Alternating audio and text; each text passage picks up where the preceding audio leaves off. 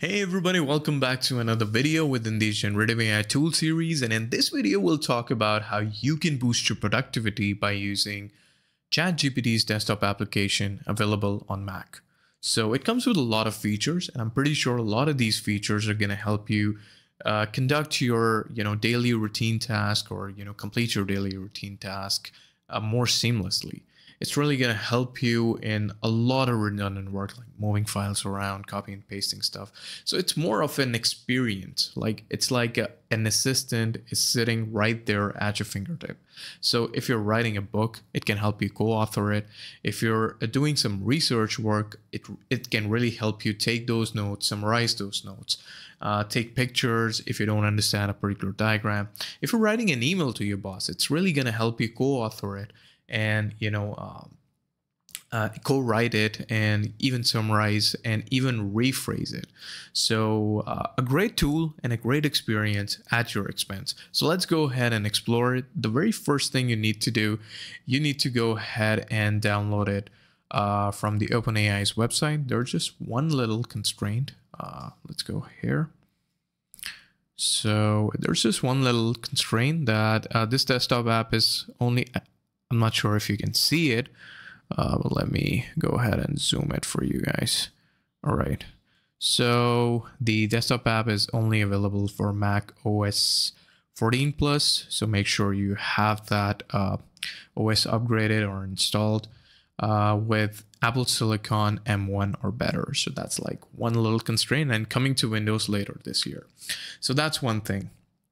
All right, let's see let's see it in action first of all. So all you need to do is you need to uh, hit options and option on your keyboard, not other options. It's just option and space, and there you have it. So this is the whole experience that you get. Uh, you can type in your messages. For example, if I just say hello uh, so it's going to take you to the uh, desktop's uh, application experience. Uh, so option space is more like a shorthand. So option space, then you see the attachment button. You get a lot of uh, different options here. You can upload a file, you can upload a photo, you can take a screenshot, entire screen, take a photo and stuff, stuff like that. So for example, if I go ahead and take a photo, so there you have it. There I am. So let's say, all right. So what do you see in the picture? Probably a bald man with a thumbs up wearing a gray shirt. But let's see the vision capabilities of it at least. In this picture, I see a person with a beard, short hair, didn't call me bald. So wearing a gray shirt, holding a microphone. I'm not holding a microphone and giving thumbs up with the right hand. Mm, yeah, I think it just flipped the picture, so I'll pass with that. The background appears to be a dark curtains, the person looking directly at the camera and smiling. Pretty cool stuff. Uh, options and you can even drag and drop your images. So like I have an image here, so this like uh, one of my favorite quotes from Albert Einstein. It says, In theory, theory and practice are the same. In practice, they're not. So, not everything theoretical is practical. All right, so I'm going to drag and drop this photo over here and I'm going to ask ChatGPT, uh, can you tell me what this picture says? Enter, and it's uploading one attachment and Let's go, let's go, let's go. All right, in theory, theory and practice are same. In practice, they're not. Albert Einstein. So pretty cool stuff. All right, so let's explore some more. What else can we do with ChatGPT on Mac desktops? So I have a code here, which happens to be a simple factorial program, but it's not optimized as it uses a for loop. So what I'm going to do, I'm going to ask uh, ChatGPT to sort of optimize it. So I'm going to go here within the attachment icon. I'm going to uh, select take screenshot. And as you can see, uh, it has available like if you want to take the screenshot, Visual Studio Code, TestPy, uh, and yes. So here we have a screenshot and then can you optimize the code? And let's see, uploading one attachment and anytime now. Okay, remove unnecessary comments. So, all right, so there we go. So we have been given a factorial based program where you can uh, sort of enter your integer and it's more elaborative and more sense. So when you have some sort of a description over here.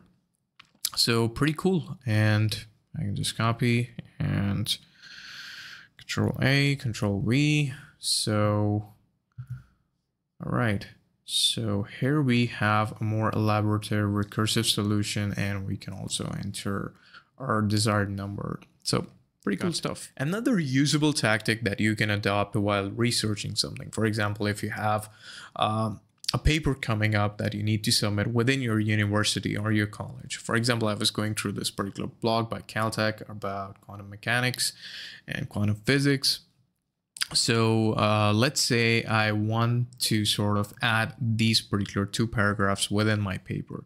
So all I need to do is to copy and uh, then I have the options over here. Can you rephrase these paras? And I can go ahead and paste it and that's it. So experience wise, it's great and it really helps and it's like uh, uh, the responses are speedy so i can just catch up things real quick and i can work on my documents on my emails on my you know daily routine task or as I mentioned, research work in a more uh, profound and a more seamless way. So I don't have to go head to my browser. I don't have to log into my ChatGPT application or Mistral or Anthropic Claude or whatever assistance that I, I have available through the web. So I don't have to do that. I can just use my fingertips and ChatGPT is there to help me. So that's the best thing about the whole experience. And that is something I really like about it as well, because it really, really complements a lot of work uh, that we have to do, which might not seem work like uh, but sometimes it do, it does when you're doing a more elaborate work. Uh, for example, when I was writing my thesis, if I had something like this, it could have been a great help uh, because uh, I remember when I was writing my thesis, my whole desktop wasn't as clean as you see here. It was all scattered with you know documents and uh, images and diagrams and whatnot, and and and a system like this could have really helped me, could have really helped boost my productivity. And that is something that I want for you guys. Uh, if despite the fact that if you're a product manager, if you're a software engineer, if you're a researcher, this tool can really, really help you and uplift your work and refine your work. And if you're procrastinating, then again, it's a great tool for your support. So let me know how did you find uh, the new available tool. Again, uh, if you have a Mac OS 14 Plus and if you are lucky enough to have a M1 chip, you can just go ahead and download it and start using it. There's one condition and uh, which might be a bit, you know, problematic is that uh, if you're not using the plus version, then you might have some constraints within the messages and the number of tokens that you can use on daily basis. So yeah, that's a bit of a pickle. Uh, but I'm lucky enough to have uh, ChatGPT Plus uh, on my desktop and on my web experience. So uh, I find it quite useful and helpful. Let me know what you guys think, and I'll see you in the next video.